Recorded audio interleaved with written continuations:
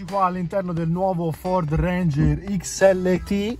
Guardate che bello che è il quadro eh, strumenti. L'analogico al centro e i due, i due riquadri, uno a destra e uno a sinistra, per quanto riguarda tutte le indicazioni dei consumi a sinistra e l'intrattenimento, in questo caso l'audio spento perché la radio è spenta, sulla destra che vi dà le informazioni eh, della radio. Se andiamo ad accendere, come potete vedere, in questo caso vi dice la eh, frequenza radio. Questo è lo schermo centrale, molto molto bello, è molto molto grande, guardate qua.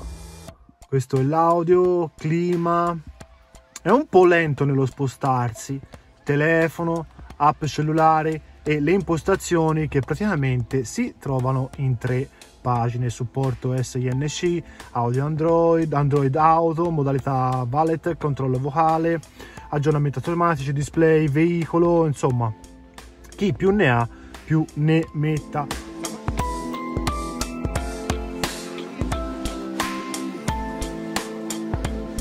La cosa che non mi è piaciuta tanto è che eh, il vano portoggetti non è né frenato né illuminato, infatti se lo lasciate andare viene giù di scatto, di schianto e non è neanche illuminato. Il tunnel centrale ovviamente ha tutte le modalità delle impostazioni off-road, il cambio una bella leva con eh, similpelle, molto comunicativo, mi piace. Eh, laggiù in fondo ci sono le prese USB, qua ci sono i porta bottiglia, il eh, cassetto centrale che ha il doppio fondo, ovvero uno, si richiude e la seconda eccola qua che è bella profonda bella grande magari nella prima che adesso vado a cercare di riaprire uno ci può mettere o un telefono non di grosse dimensioni o in questo caso vedete le eh, cuffiette. La trama dei sedili è sicuramente non si vedrà purtroppo è un po' buio. Cerco di fare più luce ma non credo che verrà fuori. È un po' diciamo freddina non mi piace troppo eh, il materiale impiegato sportelli, i pannelli laterali hanno questa parte dove vi è il comando del vetro in pelle che è bella, dà una sensazione di, di ottima qualità, la maniglia e poi il resto, è la parte superiore è in plastica e il resto è in tessuto di questa parte qua e poi il resto è tutto in plastica. La trama centrale invece come potete vedere è in plastica, in questo caso finto alluminio qua vi è una vaschettina dove ci si può sempre appoggiare appunto qualcosa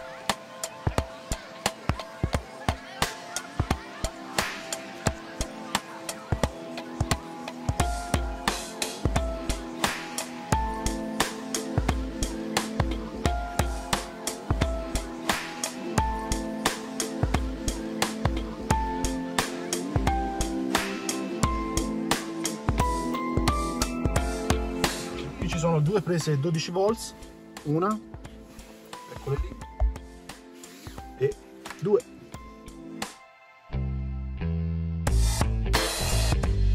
Terzo con comandi al volante, anche qui i materiali non sono di una, di una qualità di chissà di che livello, è un po' freddino secondo me, anche questa plastichetta qua classico Ford in finto alluminio che riprende appunto la trama centrale del cockpit eh, della console centrale eh, che, conti che, che, contiene appunto i comandi vocali, tutto per quanto riguarda appunto il controllo di velocità che sicuramente sarà adattivo e da quest'altra parte invece tutto ciò che è radio e telefono.